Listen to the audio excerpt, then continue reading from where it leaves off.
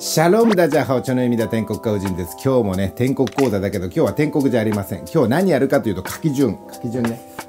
篆書体に書き順があるのかっていう話です。まあ、筆順と思います。筆順。えー転書をね習いたいという人でね書き順が分かりませんとかねそういう質問があるわけですよ。もう簡単にもう正解言っちゃうと筆順ありませんということですね。もう要はねあのー、これ篆書体でしょ？篆書体ってさ絵なわけですよ。象形ね。象形文字。象形文字だから象形ね。象形なんですよ。例えばもう木がありました。あの1本ね、うん、でここに枝がこう生えてます。これ根っこかな。こういうふうに、あのー、これを今の書き順で言うと横書いてこうこれが正しい小学校では丸とされるんだけれどもこれこっちから今あっちで焦点で書こうか。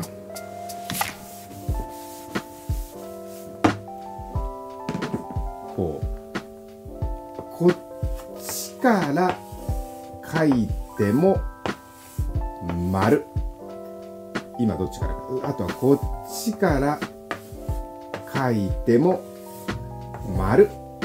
言ったらもっとこういう書き方でやりにくいけどね。下から書いても丸。うん、これはまあ書きにくいか書きやすいかの問題でこれかこれの方が書きやすいよね上から言って。まあ僕は大体この縦からこう書いていくのが多いけれどもで今の筆順で言ったらねこれ必ずこうしなきゃいけないわけですよ。これ横から書かないと小学校のテストではバッテンになります。もうねこれねあの小学校中学校の先生にねちょっとね言いたいことがあるんですよ。この筆順についてねもう厳格に教えすぎなんていうかねあの筆順神話というかね筆順を書き順をね厳密に守らないといけないというなんかその日本人の脅迫観念。あだからあの何、ー、て言うかね、えー、書き順通り書かないと罰ですって小学校の時ね、えー、例えばあの新しい漢字をね、うん、あのー、自分たちで勝手に練習しないようにということがあるわけですよ。なぜかというと書き順がめちゃめちゃになって書いてるから。でそれね要は書き順って何かって言ったらあ書きやすいようにということなのよ例えば今の木の例で言うとさ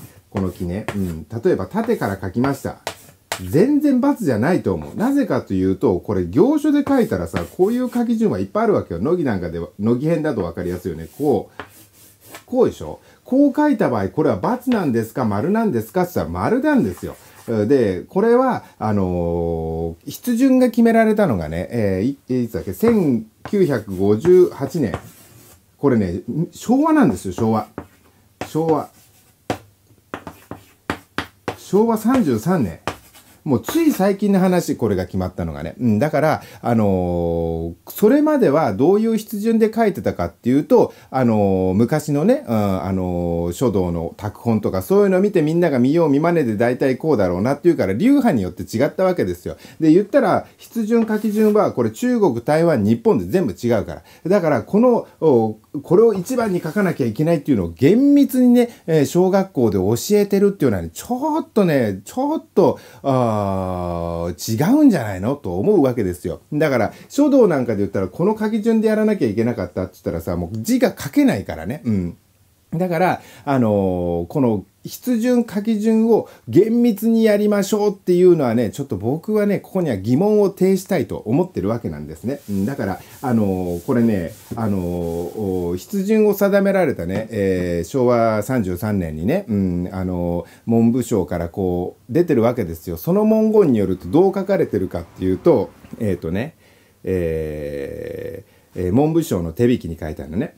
本書に示される筆順は学習指導上に混乱をきたさないようにとの配慮から定められたものであって、そのことはここに取り上げられなかった筆順についても、これを誤りとするものではなく、また否定しようとするものでもないというね、えー、筆順指導の手引き、えー、昭和33年の本書の狙い1っていうところ、もう一番最初に書かれてるわけですよ。で、その中に本書に取り上げられた筆順は、学習指導上のの観点から一つの文字については一つの形に統一されているが、このことは本書に掲げられた以外の筆順で従来行われてきたものを誤りとするものではないというふうに、えー、書かれてるわけなんですよ。これウィキペディアからちょっと見てるからね、うん、原本を読んでるわけじゃないんだけれどもさ、うんだからそんな感じでね、だから筆順に関しては現代の漢字に関してもそんなにこだわらなくてもいいです。ただ、あの、一応ね、筆順で定められてるところっていうのは書きやすいもんである。例えば3を書いた時に、まあ上から書くのが普通ではね。2、3、うん。下から書くっていうのはちょっとね、えー、物理的に難しい。なぜかというと日本の文字、中国の文字は縦から書かれていくもんだから、だから上から書いていった方がいい。例えば上とかね、どっちから書いてもいいわけですよ。だからそんな風にね、実はこれめちゃめちゃ曖昧なものなのに、それなのにテストで書き順が違います。バッテンってもうこれはね、ナンセンスそのものでございます。だから、あのー、もうここら辺はね、うん、もう明日からあ学校の小学校の先生ね、テストでもし書き順のテスト、書き順を、うん、やりましょうみたいなところであった場合は、これはね、ちょっとね、そこのところはね、ちょっと自由でいいと思う。まあまあ、今は一応こういう風に決まってるよという体で教えてあげるのがいいかな。だからそこでさ、バッテンつけちゃったら、バッテンつけられちゃうとさ、子供たちも僕なんかもそうだけど、やっぱり必順っていうものにね、えー、囚われてる部分がすごいある。僕もあるんだよ。あのー、書き順通り、娘たちが全然違う書き順で書いた時に、どうしてもそれ書き順違うよって言っちゃうのよ、どうしても。もうこの刷り込みってすごいよね。えー、だから僕もね、これを改めるっていうのはなかなか難しい。だから、あの、小学校の先生、特にね、え漢字習い始めの時にね、あその書き順はこうだよっていうのを、ね、えー、面白く教えてあげる。まあ、前も動画であげたんだけれどもさ、右という字と左という字ですよ。ね。うん。これ、詳しくは前の動画であげてるからよかったら見てね。右という字。これが1番。左という字。こっちが1番。ね、書き順が違う。これは何でかっつったら、この右のね、この篆書体の書き方が、こっちから来てるからという説明をしました。こう来て、こう来て、こうでしょこう、そうしたら右がこっちな、先なわけじゃん。ね。うん、こっちか。で、左の場合だったら、あ、1、2、3でしょ？こうでしょ？だからこれどうなってるか、左手。これ左手ね。左手がこうなんですよ。こっちは右手。右手ね。こう、こういう形。で、こうなってくると、これが、ほら、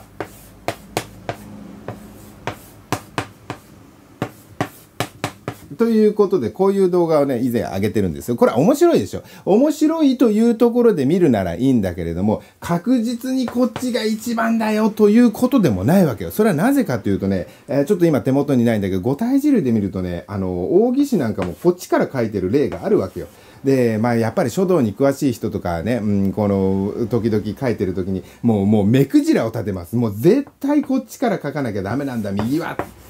まあ伝統的にそうなってるから、まあこれはね、多いのはこっちから書くんですよ。でも昔の人もね、こっちから書いてる人もいるの。うん、だから、それをどこを正しいとするかっていうとなかなか難しくて、それは転書厳密にね、あのー、そこ、転書というものを絶対的に置くんであれば、そうしたら友達の友だってさ、友達の友ね。うん、友達の友という字ですよ。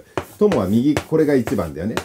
でも篆書体でどう書くかっていうと、こう、あ、ちょっとこっちでいいか。うん、これ、あの、手がこう二つ重なってる字なのね。えー、まあ手を繋いでいきましょう。仲いい字ですね。いい字ですよ。で、こう考えると、さっきの要領で言うとね、これ右手はこうで、右手はこうあるから、これ右手でしょ？右手と右手が繋がってるでしょ？右手の書き順どうだったかな？縦から書くよね。うん、縦から書く。じゃあ、友の場合も縦から書いて、こっちもあれだから、右。こう書くのが正解でしょ。その厳密に言うんであれば。これが、あ、これが一番でしょ。これが1番、2番、3番、4番にしなきゃいけないじゃん。なのに右、これは現代ではこれでも誰も目くじら立てる人はいないわけですよ。だからそこら辺の、なんていうかね、おおらかさがない。もうなんか、これが決まりなんだから、こうしなきゃいけない。そうじゃないんです。だからもうその、五体字類とかを紐解いていけば、いろんな書き順がある。うんね。うん、だからそこのところはさ、あのー、もうね、自由でいいと思う。自由でいいと思う。ただ、あこれじゃあバランス取りにくいよというところをね、大人はね、子供に教えてあげる。例えばさっき言ったように、目、目と書きましょう。目、目、目、えー、えー、えー、えー、こう書いちゃったら、これは書きにくいんですよ。もう実際問題ね。んで、あとは点角というものがあって、ここには角がこうある。もう書道の場合はここでこう、角をしっかり押さえるというルールがあるわけ。だからそこに乗っ取るとどう考えたってこっちから書かざるを得ない。この目に関してはね。もうお月様だってそうだよね。えー、よいしょ。こうは書かないわけですよ。うん、これは、あの、それは、あの、出来上がってきた物理上違うから。ただ、こう書いたところで、例えば、もうの篆書体でもっと古い字で書いちゃえばさ、お月様ね。お月様。こうなわけですよ。今、どっから書いた？こっから書いたでしょ。別にこっちから書いたっていいわけよ。ここの、ここの原点に立ち返るんであれば別に、あの、こっちから書いて、えー、こう、こう、こうでも問題ないわけ。えー、転書体で書くとね。こうだよね。うん、あの、もう、あの、自由で、本来はいいんだけれども、こう、解消になった時に、この一応のルールとして、えー、行書、草書なんかで書くときは、あまあ書きにくい。まあ草書になっちゃうとまた全然違うけどね。うん、だからそういう面で、一応のルールは定まってますよということなので、えー、書き順はね、そんなにこだわらなくていいということで、会社の話になっちゃったけれども、あの、篆書体です、篆書体。篆書体で筆順があるかないかっていうのはないんです。例えば、糸編を書きましょうと思ったらね、まあ筆順だけじゃないのよ。何がないかっていうと、画数もないわけ。これね、よくね、注文であるんだけれどね、私、画数がとってもいいので、えー、篆書体のもう画数揃えてください。できない。それはできない。なぜかというと、糸と書こうと思った時に、1、2、3、4、5、6とこう来るわけだ。でも、糸編になっちゃうと、1、さてこれ何画でしょうかって話なんだよ。これを例えばここを一角と取るのか、これを一角と取るのかっていうことでも違ってきちゃうでしょ。だから今書いたように書き順が、今は僕はこう書きます。こう書きます。こう書いてこう書きます。だけども、形はこれだけじゃないわけ。もうどう言ったらいいかっていう、こう四角い形もあるわけですよ。うんもうこの時点で書き順がないということがわかるじゃない。で、言ったらもっと言ったら、あの、口を書くときに、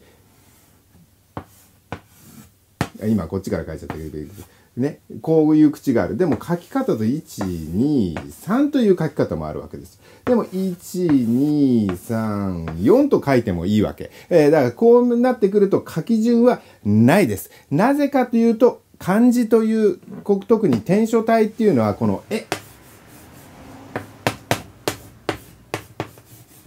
絵の要素を多く含んでるの。例えばね、うん、さっき木片書いたけれどもさ、あ木という絵をね、木の絵を描きましょうって言った時に、あの、まずは枝から、あの、葉っぱから描かなきゃいけないんです。で、ここに幹を描かなきゃいけないんですというルールはないんですよ。幹から描いたっていいんですよ。ね。うん。こうか、こんな感じ。だから、篆書体で、あのー、こう、一応書き順がありますよ。もうね、こう、ここのところをね、この、さっき言ったように、こう書いて、こう書いて、こういう風な書き方はしない。だけれども、これが×ということではないんです。丸でいいんです。まあ、ここら辺はね、意見が分かれるかもしれないけど、そういうこと。うん。だから、天書を掘るときね、天書を掘るとき、筆順通り掘りましょうって言ったら、筆順がないっちゅうねっていうことで、あのー、どっから掘ってもいいですよっていうことね。ん、だ例えば、あのー、僕なんかもさ、作りから掘ってったりするわけですよ。この、なんか、ない？えー、えー、まあ、林とこう、こう、まあ、林は面白くないから。だけど、こう、普通だったらこう、こうってこう掘っていくじゃない。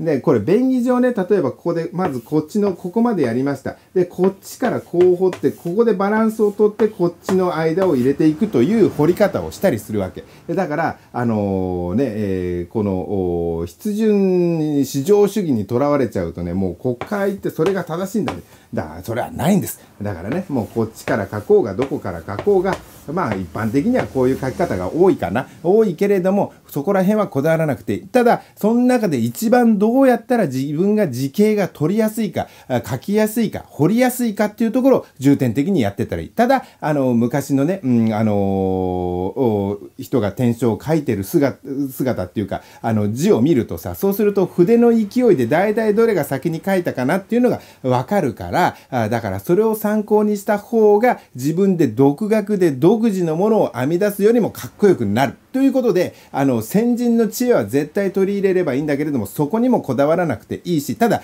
草書とかね、えー、行書、これに関してはむちゃむちゃの書き順ダメよ。うん、だから、あ三髄書きますね。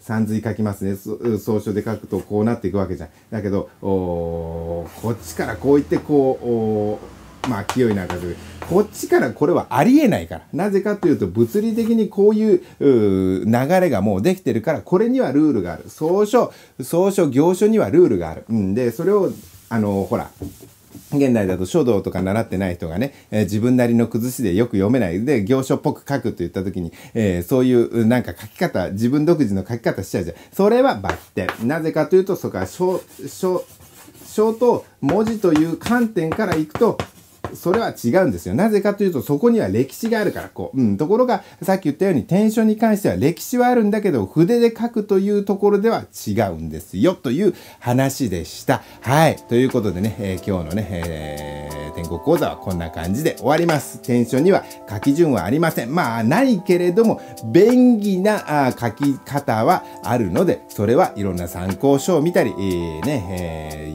YouTube 見たり、ネット見たりして探すとですね、えー、自分に合った書き順というものが見つかると思いますので、そこを参考にしていただければと思います。ということで今日のね、天国講座は終わり。じゃあね、バイバイ。再見。